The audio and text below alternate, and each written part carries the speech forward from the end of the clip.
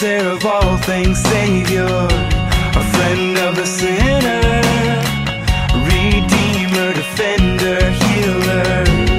lily of the valley, you alone, our peace, our shield, our